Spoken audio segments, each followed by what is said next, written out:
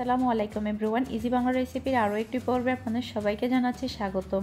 নরম তুলতুলে এই পিঠা ব্রেডটা কীভাবে আপনারা ঘরের মধ্যে অল্প সময়ের মধ্যে তৈরি করবেন, সেই রেসিপিটা নিয়ে আমি আজকে আপনাদের মাঝে হাজির হলাম।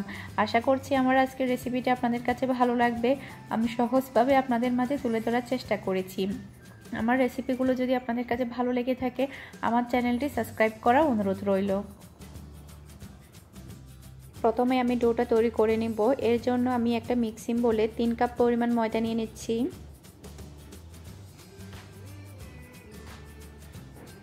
এখন আমি দিয়ে দিব দুই টেবিল চা চামচ পরিমাণ পাউডার দুধ। দিয়ে দিব চার টেবিল চা চামচ পরিমাণ চিনি। স্বাদ মতো লবণ।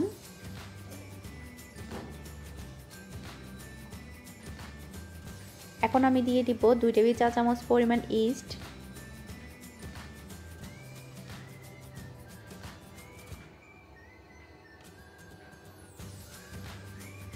দিয়ে দিব টোটাল চার থেকে পাঁচ টেবিল চা চামচ পরিমাণ তেল।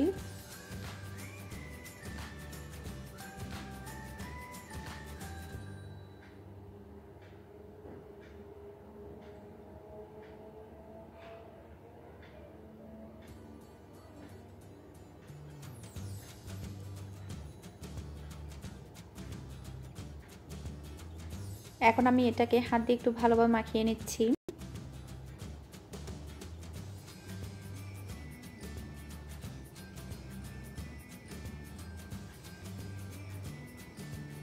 এখানে আমি কুসুম গরম পানি নিয়ে নিয়েছি। কুসুম গরম পানি দিয়ে এটাকে আমি একটা সফট ডো তৈরি করে নিব।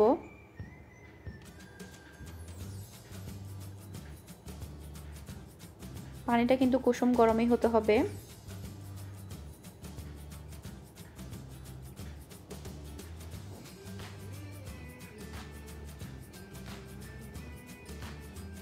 আমি এখানে একটা সফট ডো তৈরি করে নিয়েছি। আপনাদেরকে আমি একটু দেখিয়ে দিচ্ছি ডোটা কতটা সফট হয়েছে। এখন আমি ডোর উপরে সামান্য পরিমাণ তেল ছিটিয়ে দিচ্ছি। তারপর আমি ডোর মধ্যে খুব ভালোভাবে তেলটা মাখিয়ে নিব, যাতে করে উপরের অংশটা ড্রাই না হয়ে যায়।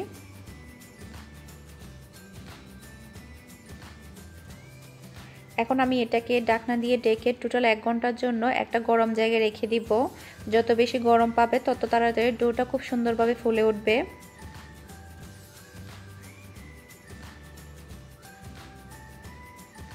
এক ঘণ্টা পর ডোটা খুব সুন্দরভাবে ফুলে উঠেছে। হাত দিয়ে চেপে চেপে এক্সট্রা বাতাসটা বের করে দিব। এখন আমি এটাকে পিস পিস করে কেটে নিব। আপনারা কতটুকু রাখতে চান সেটা সম্পূর্ণ আপনাদের উপর ডিপেন্ড করবে। আপনারা চাইলে বড় কিংবা ছোট করতে পারেন। আমি মিডিয়াম সাইজে পিঠা ব্রেডগুলো তৈরি করব। আমি আমার মতো করে পিস করে কেটে নিচ্ছি। আপনারা চাইলে ছোট কিংবা আরও বড় করতে পারেন।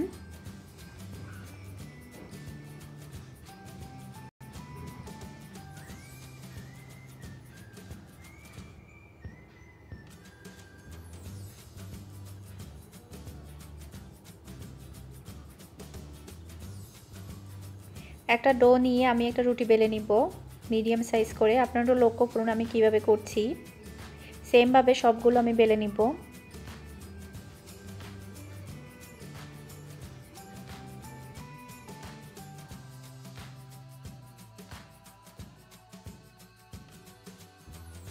সবগুলো পিটা ব্রেড তৈরি করার পরে এখন হচ্ছে আমি পিটা ব্রেডগুলোকে ছেঁকে নিচ্ছি। যেমনটা আপনারা দেখতে পাচ্ছেন।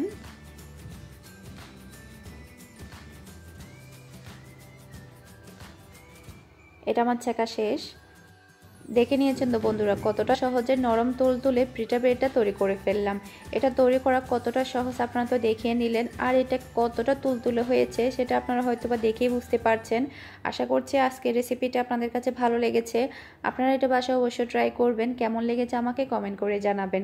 আমার রেসিপিগুলো যদি আপনাদের কাছে ভালো লেগে থাকে, আমার চ্যানেলটি সাবস্ক্রাইব করার অনুরোধ রইল। আরও একটি নতুন রেসিপি নিয়ে হাজির হয়ে যাব, সে পর্যন্ত ভালো থাকবেন, আল্লাহ হাফেজ।